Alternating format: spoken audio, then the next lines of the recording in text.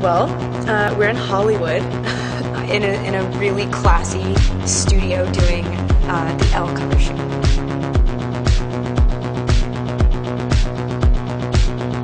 The odd thing about Twilight is it's so not gothic. I mean, I play like a very sort of cutesy girl. We're not like the gothic vampy movie. It's like the opposite of that kind of. People think I'm grungy now.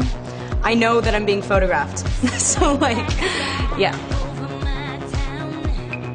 I'm I'm fine when I'm like chilling with my hair and makeup crew. I'm like sort of kicking back and like you know I like choosing what I'm gonna wear. It's just as soon as I get there, it goes like oh, uh, reality. I'm gonna be shooting Breaking Dawn soon in November. It's been a long time since I haven't had my my just like three projects lined up. So to not know what you're going to do is an exciting prospect.